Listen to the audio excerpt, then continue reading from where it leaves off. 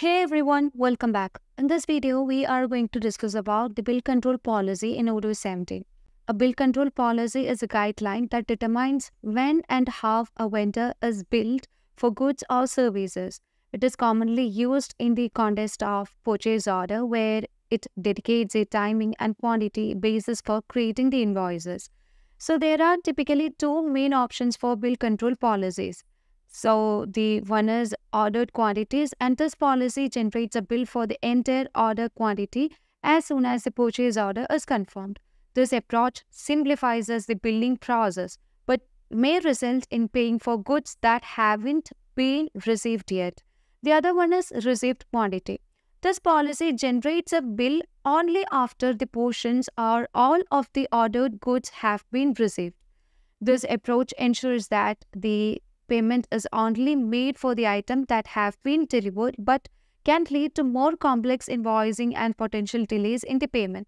So let's see how can we manage the bill control policy in Odoo 17. So let's get into the purchase module first. Um, and in the purchase module, we can set the bill control policy. So in the configuration setting under the invoicing section, you can find the bill, bill control policies that is the ordered quantity and re received quantity.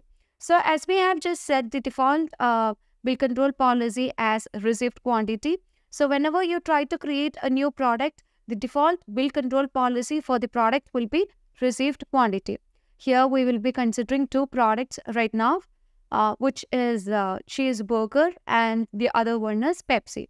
So let's move on to the cheeseburger. Under the purchase uh, tab, you can find that here we can just manage the control policies of the bill such as received quantity and ordered quantity. So for the time being, uh, Cheeseburger will have a bill control policy on received quantities and um, the Pepsi will have a bill control policy of ordered quantity. So under the purchase tab, you can find that we have just set the bill control policy of Pepsi as ordered quantity. Now let's create RFQ for these products. So let's create a new RFQ for the product Pepsi.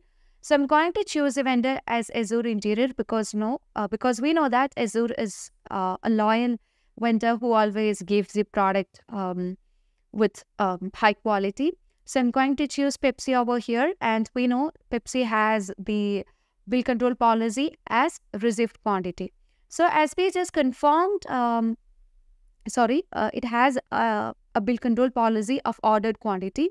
So now let's confirm the order. So as I confirm the order, I can here create a bill for the product even without receiving the item in the stock. So let's confirm the order.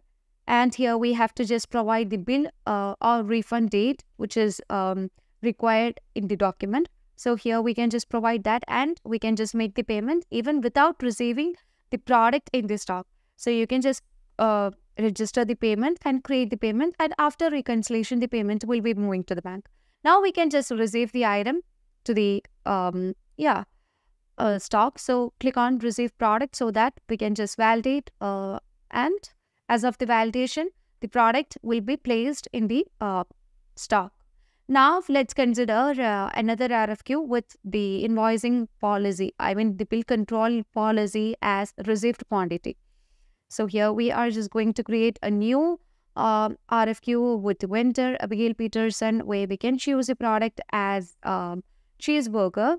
So it will be having the control policy as received quantity. So here you can set the quantity that you need to receive.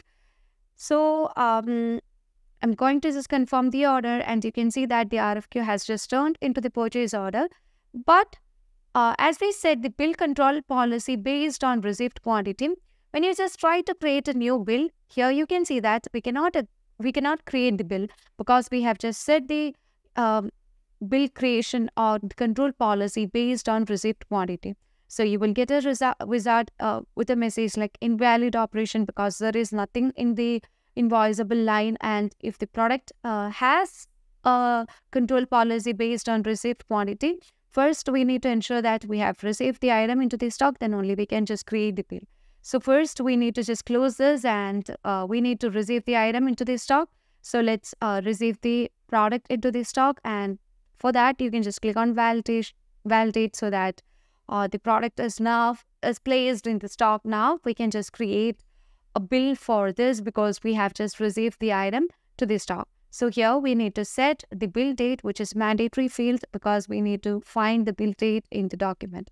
So now let's confirm and click on register payment and after reconciliation, the payment will be moving to the bank. Now we also need to find the priority of the bill control policy. So let me create a new RFQ with the vendor, um, Azure Interior or let it be Anita Oliver and here I'm going to choose a product which is Pepsi as well as cheeseburger. And we know both product has different bill control policy. But we need to make sure the priority of these uh, product with the bill control policy.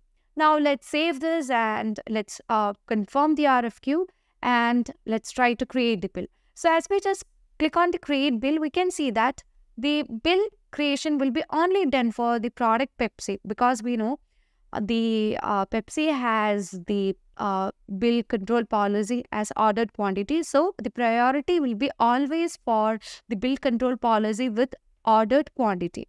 Now let's confirm and uh, let's receive the item. Uh, I mean, just create the bill by setting the bill date and you can just confirm that. And after reconciliation, uh, the payment will be moving to the bank. And here you can see that. Now let's move on to the, um, yeah, I mean, uh, the RFQ that we were dealing and uh, uh, first we need to receive the item into the stock in order to just create the bill for the cheeseburger. So let's validate it and you can see that we have just received the item. Now we can just create a bill. So let's click on create bill and here you would be able to find that we have just received the item into the stock and um, now we can just create the bill. So we need to set the bill date. So let me set that. And afterwards, you can just confirm the order and make the payment. And after reconciliation, the payment will be moving to the bank. So this is how we manage with the bill control policy in Odoo uh, 17. And we know bill control policy is used in case of purchase order. So I hope this video clarifies how to use bill control policy in Odoo 17. And if you want Odoo customization or tutorials regarding Odoo, feel free to contact Cybrosys. Thank you for watching the video.